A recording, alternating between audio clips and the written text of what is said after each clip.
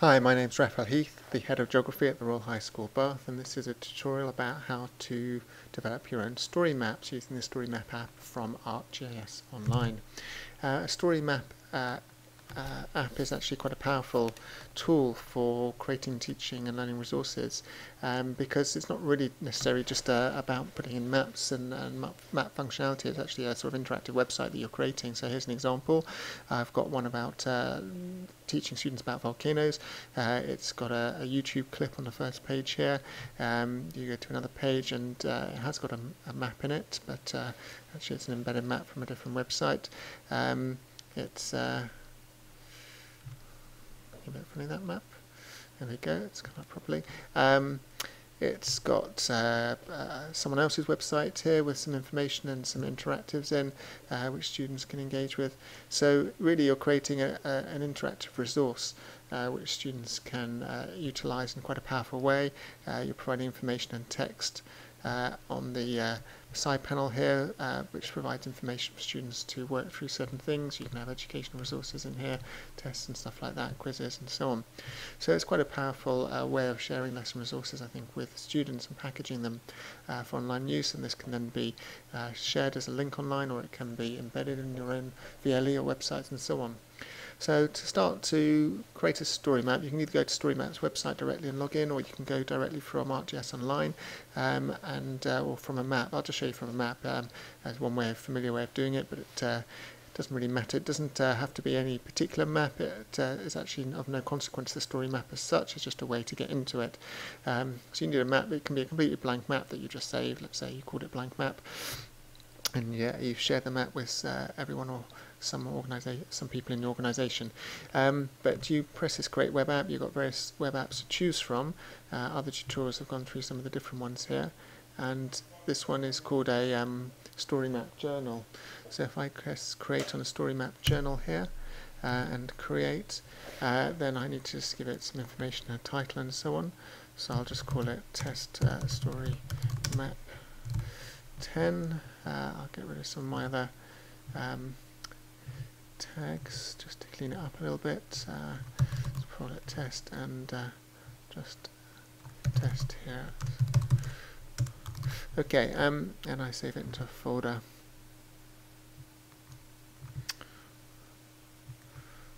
Done. Okay, so what it's going to do now is take me to the story map web app builder and the first thing it'll do is ask me what type of uh, layout I want. There's choice of two layouts, a layout in the story maps, floating panel, side panel. I'll stick to the side panel. Um, and then the first thing it's going to do is ask me to put in some content to this story map. So I'll give it a title, um, uh, test story map for tutorial. Um, and it's popping up with a question of what do I want to put into it. So it sort of encourages me to put in maps, but I don't have to, as I said. Let's show you if I put in a video, for example. Um, let's find a video here. Uh, something on volcanic hazards. Great, that'll do. Copy and put it in. Let's say that's what I want my story map to start with. Back to the uh, story map uh, builder.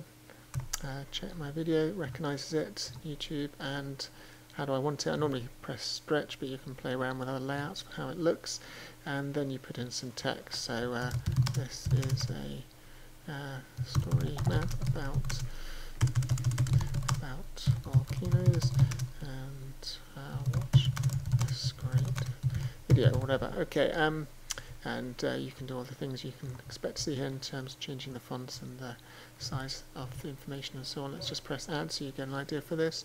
So it says test, test story map for tutorial um, and uh, you can see that uh, it's come up with this video. The video is playable within the story map and so um, you can see it coming up there and uh, it's got the text in that I wanted here. So that's my first page of the story map. Uh, you can see under settings few other things I can control. I can control how big this side panel is. I click apply there, you can see it's made it smaller. If I uh, click on the theme, I can change the color style for it. It looks a bit different, so you can see that uh, with a blue tab along the side, um, and so on. Uh, the fonts and the header, um, story map, uh, test, story map, um, and so on. That's come up as test story map now. So there are things you can set with a sort of infrastructure layout of it. Then you want to uh, work on, uh, once you've finished it, you can share it. Just check the sharing settings is fine. Yeah, you'd uh, have that uh, link or the URL at the top to, to share it. Um, the uh, add section here lets you put in more information. So let's put in a map this time, volcanic eruptions the last 2,000 years. So you can see that you can browse for maps, or you can have ones that already recognises, search, searches your content, or you can search all the maps in ArcGIS Online, don't have to be your own maps as long as they're publicly shared to be able to access. So uh, let's uh, put 2,000 years. Uh, and search for maps, it would uh, find maps that had that title in. I'm searching for a map I know. Uh, I give the section a title, I must remember to do this, otherwise it won't let me move on.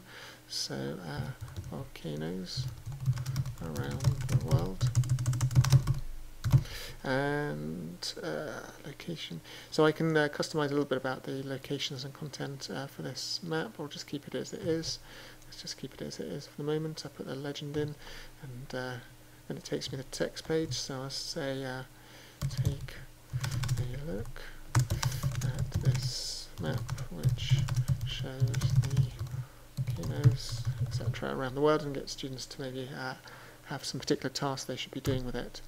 Um, so you can see now I've got two pages as it were, two tabs within my story map. I've got this map and my video page. Okay, um, and you can go back to the editing here and you can change the text that it's got here. Uh, task 1 describe, whatever. Um, and you can change the main stage as well in terms of the map and how it appears and how it comes up a little bit. So custom configuration, I'm going to have a pop-up come up for this, uh, save pop-up, and save that now. So uh, now coming from this page to this page, that's how this map is going to come up and display. Um, and you can work on the text and layout so it kind of fits the panels a bit better and so on, but you can see the basic idea of this uh, in the way it navigates around. Um, some other clever things you can do, let's go back uh, to this first section. Let's have a think about this. Let's, let's add another section for the moment. Okay, uh, let's add another section to show you different things you can do. Uh, you could put in images as well. So um, you might have images saved online or URLs or uh, for images that you can put in, uh, videos I mentioned already, and other web pages. This is quite powerful for information you want to embed or put in uh, other websites that you want to link to. So I'll just copy that website, USGS for example. I want my students to, actually let's put in Let's put in this web app instead. So this is a web app I created using ArcGIS Online. I explain how to do them in another tutorial. And um, it's, it's not a map actually, um, so I might think, oh, it's the map I'm putting in, but maps are just the maps hosted in ArcGIS Online. And uh, this thing I'm showing you here is an elevation profile web app, so it has its own web address and uh, it works differently. So I'll put it in as a web page. Um, paste asked me to configure it how I want it to look now so I say I want it to, to stretch it. You can either have it uh, loaded once it's loaded once or unload when you navigate away to another page. Um, I think that will affect the amount of sort of space and memory it takes. Won't let me click next yet because it says enter the title so I need to put this in. So I'll say elevation web app tool or something next. Um, and then I put in some text use this tool to find out the heights land, whatever. Okay, um, text size, and so on. Make that a little bit. Okay, add. Um, and put some returns in there so you can see that this panel is now taking up more of this space rather than uh, um, rather than showing some of the other bits and pieces. So you can see here, um, oops, I just navigated away. Uh, as I go to this tool, this page now that I've created, uh, it's quite neat with the layout. Uh, I've got this text in here.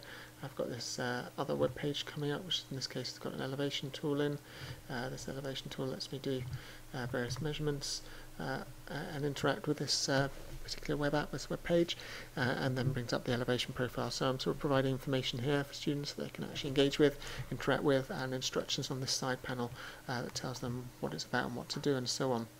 So those are the basics of creating a, uh, putting in maps and putting in videos and putting in resources into a story map. You can see it's really quite straightforward and you can start to build quite powerful resources.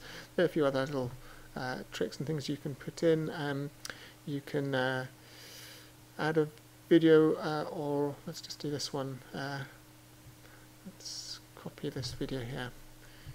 Okay, copy. Let's go back to my story map. Um, rather than having it in the main panel, I could put this video into the side panel here, so the same process of putting the video link in. Select this video, uh, fit, apply, um, save. So you can see now that uh, it's got this video here, but it's also got a it's not a very good example of it, it's got the same video here, but if you had a map or something here, uh, as I had on the other page, uh, for example, then this video could sit underneath it uh, in this section here. So um, so you can put uh, information like this uh, interactively into side panel, and that's uh, usable and viewable and interactive. Um, you can also change the main stage actions, it calls it. So um, this is all my information here some text in here, maybe not. Welcome to my uh, web about Uh, okay. And if I deleted some of the text there when I was working on something else. Um, okay, uh, click here for the USGS website. Site. Okay. Um, so if I highlight this text, uh, it can become a clickable link which then changes something. So here I'm going to change the main stage actions and the main stage at the moment has that video in but I'm going to now put in this web page in for copy the USGS oops go back to the right place. So I put that in as my link. So let's configure it, I'll stretch it and again and so on. And you'll see the effect of this if I save it so uh, you've got the, the title, the text here, you've got this video I've embedded, and you've got this clickable link now. So if I click on that, it now changes this main page to bring up the, uh, the USGS website and the focus on volcanic hazards and so on. So the, the basic idea of being able to create a lot of interactive content there, lots of interactive references and links uh, to uh, different pages. If you didn't want it to bring up the web page here, but you wanted it to open separately, you would use the, uh, the links uh, tool there to add in a link, uh, URL and so on, and then that would open a separate uh, link to it. Um, just put one in here. The same one in. Okay, save. Uh, and so now I have a clickable uh, link, which if I click it, opens a separate web page. My story map is still there. So, um, so there are different ways of adding information. So you can see it's uh, quite straightforward but quite powerful to be able to build. You can put all sorts of interesting and interactive uh, resources in. Uh, you can clearly put your maps in but you don't have to put your maps in uh, and you can put other sort of uh, interesting uh, materials from the web and online and things you've created as well. So that's an overview tutorial of creating a web app. Um, the story, story map um, isn't available to share it. I thought I had shared it. Hmm. Oh, save it, okay. Um, view live. So if I view this one live, I should have pointed that out on the last screen while this is loading. Uh, I'll go back in a moment so you can see this is how it will look to the public as it were, uh, people that uh, are, you've shared it with and that can access it. We'll go back to that story map, don't forget the, the saving button on the side here, uh, save as you go along so you don't lose anything if your computer crashes uh, and, uh, and you don't lose any work so you keep saving it and you can see there the sharing and view live buttons and stuff like that.